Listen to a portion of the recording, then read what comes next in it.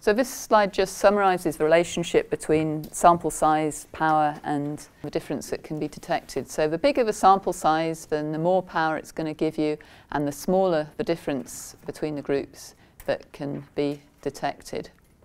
Although you can base your calculations on calculating the power under different situations or the difference that you can detect under different situations, I mean, the better way to do it if you can is to decide what your power is, decide what the difference is and get your sample size and say, okay, I need, I don't know, 15 mice per group and just run with that, although it's not always a practical way to proceed sometimes.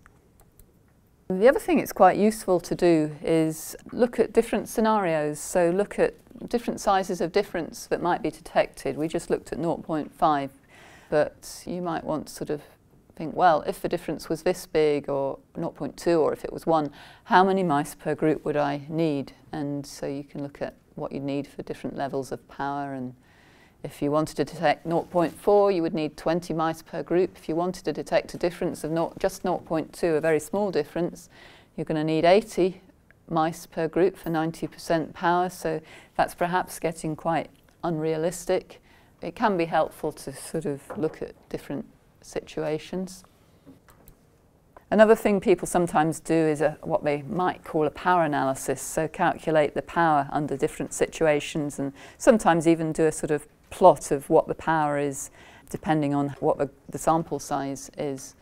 So using the formulae rearranged in terms of power, we'll look at that for both different numbers of mice per group and different effect sizes. So if we're in the situation where we've got, we're interested in effect size of 0.6 in red blood cell count, we vary the number of mice per group, then you can see what the power of the study would be. If you've only got five mice per group, power of the study would be just 68%. So you'd have 68% chance of getting a result significant, 32% chance that it wouldn't be significant. But that quickly increases with the number of mice and by the time you've got 10 mice then it's quite an acceptable power. Power is very low if you're looking at a small effect size, as low as 13%, really not worth doing the study. In fact, for any of these group sizes. So um, would up to 20 mice even, the study would be quite underpowered to detect statistically significant difference. So in fact, sometimes people talk about, rather than sample size calculation, they sort of talk about power analysis or calculation, but I prefer talking about sample size calculation because I think that is, if you can do it that way, that's the better way to do it. I've seen it done with people reviewing studies, you know, that maybe haven't got a statistically significant result, and they said, well, there's no difference between this and this. But by looking at how powerful that study was, it's, it makes it easier to interpret. So if you can say, well, the study didn't really, it lacked the power to show a difference of this size, so we can't conclude that there isn't a difference. So that's another way power calculation we can, can be used. You know what the variability of the data observed are and you can put it into a calculation and show how powerful the study was to achieve its objectives. So that can be quite useful as well.